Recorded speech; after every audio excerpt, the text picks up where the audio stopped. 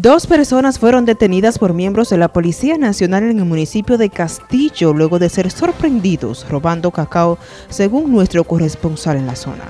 Productores de la fruta del referido municipio se quejan por la alta frecuencia en que se convierten en víctimas de estos desaprensivos. Sí, este, noche y día están robando porque se meten a a las once y media de la mañana chequean de este cacao maduro y en la noche van a hacer sus tiros porque van a tiro seguro a ¿A cuáles personas le han robado ahí? Me roban a mí, le roban a un primo segundo mío, le roban a, aquí a, la Iscaira, le robaron a, a Chiqui, le robaron a Domingo de Andrés, le robaron a, a Pei. Los detenidos fueron identificados como Alexander Ezequiel Muñoz de 30 años de edad y Juan Carlos Peña de los Santos de 33, ambos residentes en el municipio de San Francisco de Macorís, quienes al ser cuestionados sobre si son responsables del hecho que se le imputa, reaccionaron de forma agresiva, negándose a dar declaraciones.